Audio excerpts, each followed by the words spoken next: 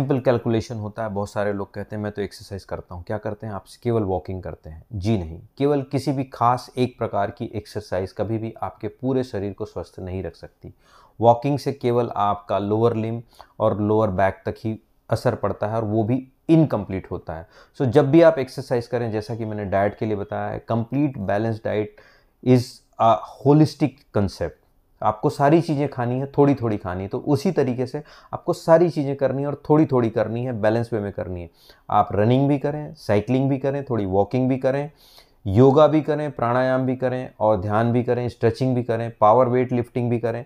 आपके normal simple healthy life को maintain करने के लिए सब कुछ आवश्यक है। यदि आप केवल एक चीज़ को करते हैं तो उसका एक तरफा फ़ायदा मिलेगा, शरीर के दूसरे हिस्से इसके फ़ायदे को नहीं ले पाएँगे वॉकिंग से केवल पैरों को फ़ायदा होगा, आपके थोड़े से हार्ट को फ़ायदा होगा, लेकिन what about neck shoulder spine hands everything so दूसरा हिस्सा अनछुआ रह जाता है और उसका नुकसान दूसरे हिस्से को झेलना पड़ता है।